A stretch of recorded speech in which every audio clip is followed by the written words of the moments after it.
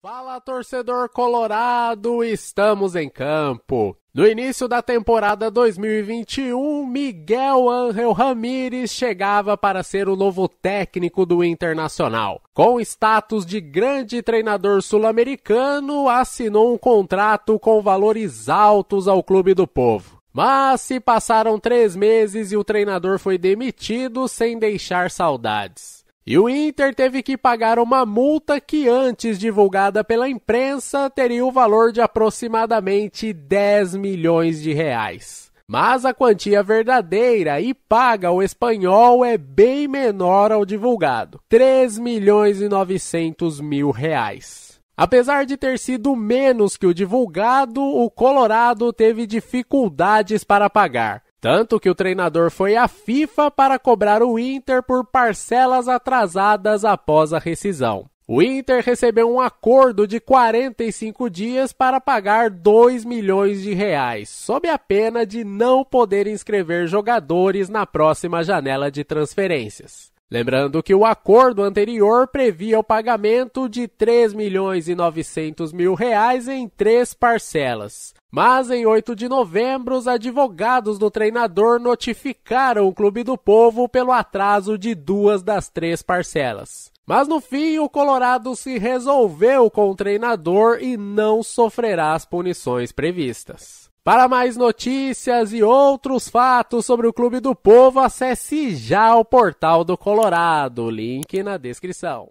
Fala!